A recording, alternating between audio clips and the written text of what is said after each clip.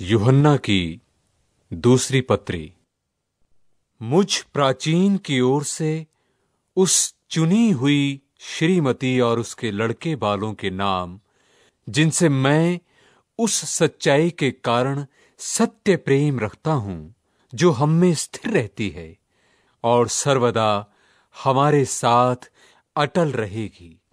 केवल मैं ही नहीं, वरन वो सब भी प्रेम रखते हैं जो सच्चाई को जानते हैं। परमेश्वर पिता और पिता के पुत्र यीशु मसीह की ओर से अनुग्रह और दया और शांति, सत्य और प्रेम सहित हमारे साथ रहेंगे।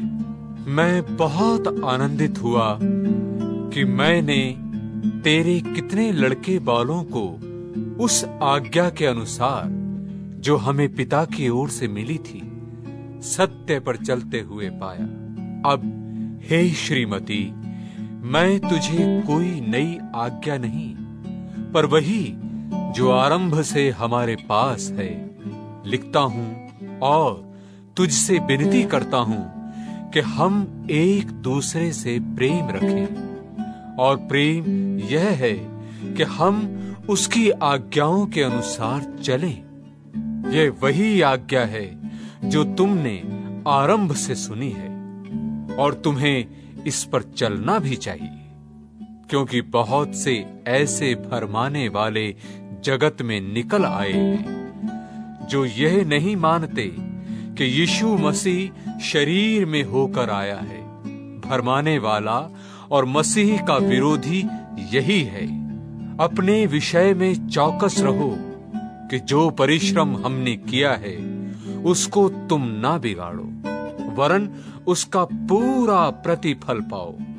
जो कोई आगे बढ़ जाता है और मसीह की शिक्षा में बना नहीं रहता, उसके पास परमेश्वर नहीं। जो कोई उसकी शिक्षा में स्थिर रहता है, उसके पास पिता भी है और पुत्र भी। यदि कोई तुम्हारे पास आए और यही शिक्षा ना दे उसे ना तो घर में आने दो और ना नमस्कार करो।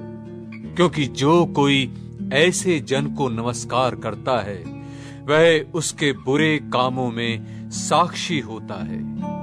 मुझे बहुत सी बातें तुम्हें लिखनी हैं, पर कागज़ और सियाही से लिखना नहीं चाहता। पर आशा है कि मैं तुम्हारे पास आऊँगा और सम्मुख होकर बातचीत करूँगा, जिससे तुम्हारा आनंद पूरा हो।